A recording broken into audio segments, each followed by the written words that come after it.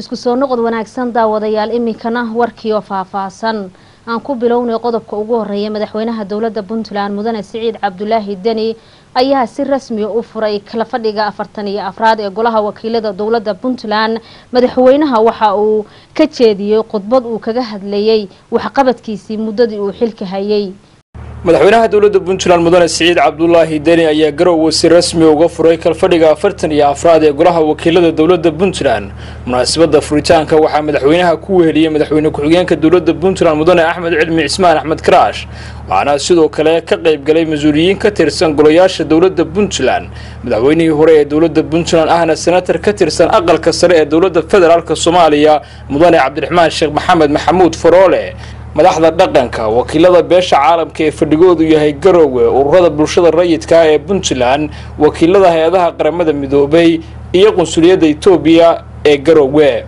mas'uuliyiin ka tirsan madaxda dhaqanka puntland madaxda ururada bulshada rayidka ee puntland iyo wakiilada beesha caalamka ee fadhigoodu yahay garowe oo munaasabada furitaanka ka hadlay ayaa ku dheeraaday muhiimada uu leeyahay furitaanka fadhiga afartan iyo afraad ee golaha wakiilada dowladda puntland waxayna sidoo kale ku dheeraadeen in golaha looga baahan yahay isla xisaabtanka ay la xisaabtamayaan hay-adaha kale ee dowladda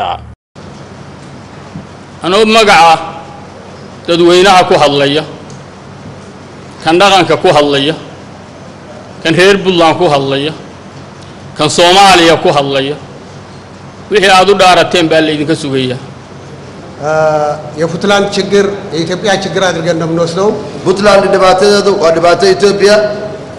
የኢትዮጵያ ችግር የፑንትላንድ ችግር አድርገን ነው የምንወስደው። etoobiya dhibti ku dhacda waa dhib puntland ay leedahay ዝም ku ብሎ dhacday ዝም ብሎ የመጣ ትስስርም አይደለም። xiriirkani mid aad maanta aan bilaabayna ma aha waa mid soo jireena አጠናክረን እንሰራለን ብለን ነው እየሰራን ያለ ነው። insha allah waan sii adkaynaynaa meeshii joogay baan kasii wadaynaa senatar cabdiraxmaan sheekh maxamed maxamuud faroole madaxweynihii hore ee dowladda puntland haatanna ah senatar ka tirsan aqalka sare ee baarlamaanka soomaaliya oo munaasabada furitaanka ka hadlay ayaa isna ka sheekeeyey xilliyadii kala duwanaa ee uu soo maray baarlamaanka puntland isagoo baarlamankana kula dardaarmay inay halkaasi iyo meel ka sarraysa gaarsiiyaan baarlamaanka puntland. Maxaa yeelay puntland waad ogtihiin sumcad bay ku leedahay soomaaliya dowladaha xubnaha ka ah dowladda federaalka waxay u agoysan yihiin hoggaankii iyo hooyadii federaalistka bay u agoysan yihiin. Magaca aad leedahay oo hore u soo baxay oo rag soo shaqeeyey oo wakhti badan la geliyey oo shuruuc loo sameeyey oo nidaam ku samaysmay oo hay'adihii dawliga ay ku dhisan yihiin oo adduunku ictiraafsan yahay meel kasta uu joogo derista ah dowladda deriska waad maqlayseen ee qaramada midoobay waad maqlayseen ay wadaafaqsan yihiin inaan u ekaano shaarkeennu inuu ekaado muuqaalkeenna iyo magaceenna inuu ekaado hoggaankii baynu nahay waa kayna ka shidaal qaadanayaan xuk- xukuumadaha kale xubinta ka ah dowladda federaalka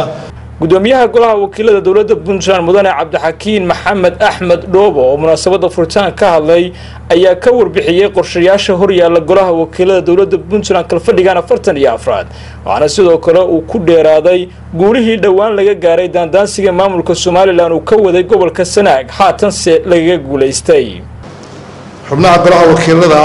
waxay muddo laba bilood ah ku howlanaayeen oo hadda la soo dhaafay kormeero iyo safarro shaqo ay ugu baxeen deegaan doorashooyinkooda si ay uga dhegaystaan dadweynaha una ogaadaan baahiyaha ay qabaan si wax looga qabto. Mudane madaxweyne mudanayaal iyo marwooyin anigoo ku hadlaya afka golaha wakiilada waxaan cambaaraynayaa weeraradii qaawanaa iyo daandaansigii joogtada ah ee maamulka somalilan ay ka geystaan gobollada puntland gaar ahaan sool iyo sanaag waxayna dhowaan weerar ku soo qaadeen magaalada yube waxaa kale oo ay ku soo duuleen magaalada damalaxa garre iyadoo ujeeddadoodu iyadoo ujeedkoodu yahay inay ku carqaladeeyaan ardaydii u fadhiday imtixaankii shahaadiga ahaa ee puntland. Sidaa darteed waxaan u sheegaynaa dowladda federaalk ee soomaaliya beesha caalamka iyo cid kasta oo danaysa arrimaha soomaaliya inay dowladda puntland u dulqaadan doonin xadgudubyada somalilan ayna difaacayso shacabkeeda iyo xuduudaheeda wixii dhibaato ka dhalatana ay mas'uuliyaddeeda qaadi doonaan maamulkaas madaxweynaha dowladda puntland mudane siciid cabdulaahi deni oo si rasmi a u furay kalfadhiga afartan iyo afraad ee golaha wakiilada dowladda puntland ayaa ka jeediyey khudbadiisa dastuuriga. Ah waxaana uu madaxweynuhu ku dheeraaday waxqabadka xukuumaddiisa ee muddadii afarta bilood ee la soo dhaafay. Madaxweynaha ayaa sidoo kale ku dheeraaday horumarada laga gaaray dhinacyada amniga iyo horumarka guud ee puntland isagoo ka sheekeeyey shirar uu kaga qayb galay dalka dibaddiisa kuwaasi oo looga hadlayay horumarinta kaabayaasha dhaqaalaha puntland. Mudanayaal iyo marwooyin si dib loogu soo celiyo loona adkeeyo xidhiirka aan la leenahay daneeyaasha arrimaha soomaaliya gaar ahaan puntland. Waxaan kulanno waxaan la kulannay safiirada dalalka iyo ururada xidhiirada diblomaasiyadeed la leh soomaaliya sida maraykanka ingiriiska jarmalka midooda yurub masar